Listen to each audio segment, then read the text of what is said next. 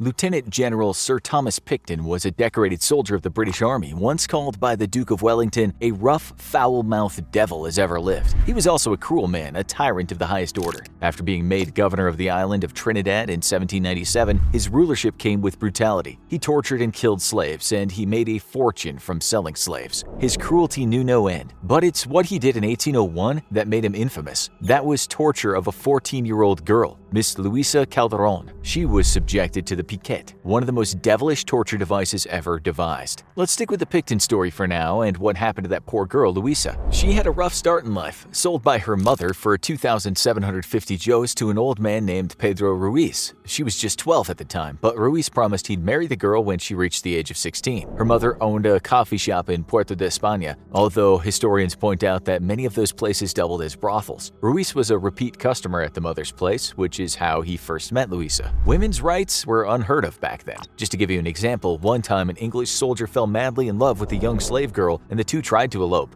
They were both caught, and on orders of Picton, she was summarily hanged. The soldier was taken to Marine Square and whipped until the flesh fell from his bones. Luisa was pretty much a slave herself, although a sex slave. When Ruiz wasn't home, she had to stay in the house waiting for him. During one of her lonesome days, another man, Carlos Gonzalez, made advances on her. What happened next has been debated, but it seems Ruiz arrived home one day to find he'd been robbed of most of his gold. He blamed his young concubine for the crime, who he said was complicit. Still, he must have concocted that story because he found out about Luisa's infidelity. Other accounts say Gonzalez stole the gold and Luisa knew nothing about it. Ruiz was known to Picton, so after he claimed a robbery had taken place, he visited him. Luisa was subsequently taken to the royal jail where shackles were placed around her ankle with a torture chamber awaiting her. The magistrate said, inflict the torture upon Luisa Calderon. We found an official document from back then which we think adequately illustrates the brutality of the times. Here's a snippet. The girl was informed in the jail that if she did not confess she would be subjected to the torture, that under the process she might probably lose her limbs or her life, but the calamity would be on her own head, for if she would confess she would not be required to endure it.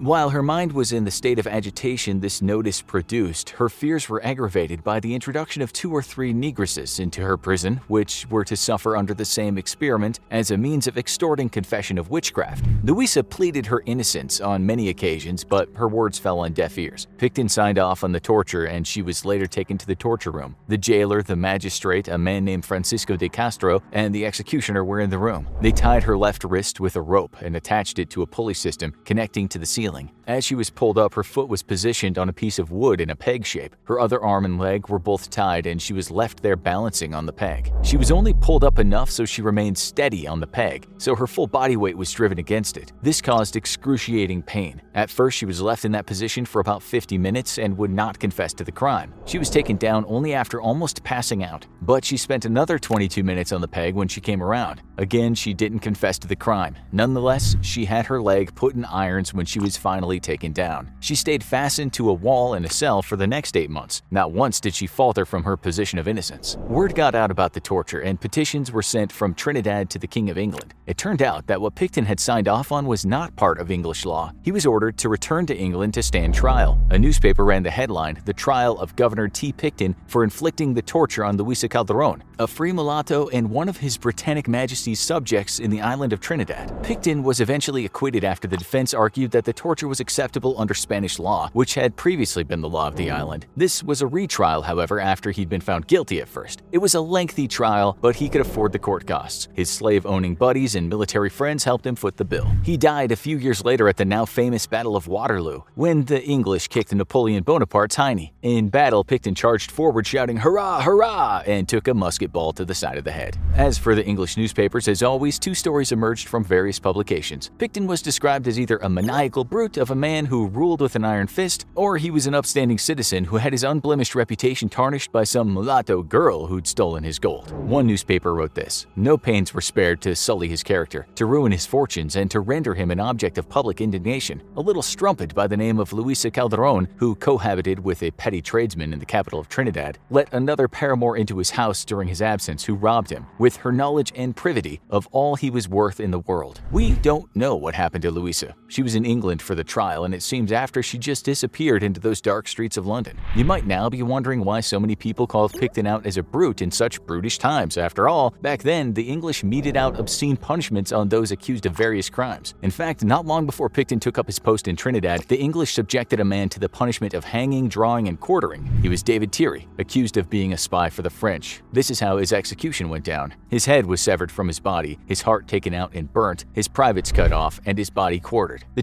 20,000 people in the crowd then fought over pieces of the body. They wanted bits to use as trophies or souvenirs. A few years later, a woman named Catherine Murphy was burned at the stake after being found guilty of counterfeiting. The public wasn't impressed, though. Times were changing, and many people said they were fed up with seeing women burned. When Jeremiah Brandreth went to the chopping block, the executioner hacked at his neck clumsily, after which the crowd turned away in disgust. Some booed, soldiers got ready for a riot. With that in mind, what Picton did was seen as a remnant of an older order, an order now looked on by many progressive folks as savage. England was about to clean up its act, more so because the public sentiment than the establishment suddenly growing warm hearts. Picton reminded people of another era. The crime also upset many folks because the victim had been a young girl, very likely an innocent girl whose lack of money and social standing gave her no chance to fight the men that had oppressed her. The original form of picketing, which served as inspiration for Picton, was used against soldiers when they had defied orders. This was quite common in the 16th and 17th centuries, so when Picton tried it at the beginning of the 19th century, it was seen as anachronistic savagery. The soldier would generally be tied to the nearest tree, his wrist hanging from a branch. His foot would be placed on a peg, much like the peg used against Luisa. As it did with her, it would cause considerable pain, but the peg wasn't sharp enough to draw blood and possibly result in an infection, it just hurt a lot.